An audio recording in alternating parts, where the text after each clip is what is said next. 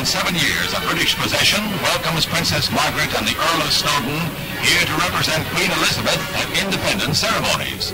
The princess is greeted by island dignitaries, including the Prime Minister, Sir William Bustamante, before riding through the streets of Kingston to a roaring reception. The country will be a dominion within the British Commonwealth and thus still maintain ties to all that the princess represents.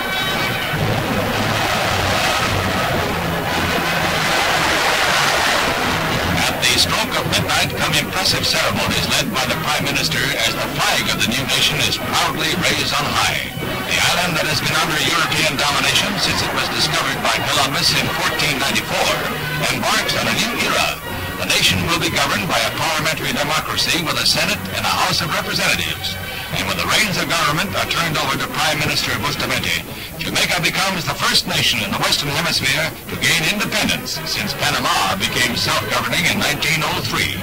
Jamaica's economy is on more solid ground than other West Indian islands, but the new nation will need continuing aid before she becomes self-sufficient.